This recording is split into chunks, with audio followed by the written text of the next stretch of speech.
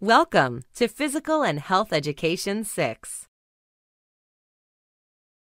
This physical education course allows you to explore how to be healthy and active. You will learn the knowledge, skills, and attitudes necessary to incorporate physical activity into your regular routines and leisure activities. While learning about these physical development big ideas, you'll also build strengths in the core competencies.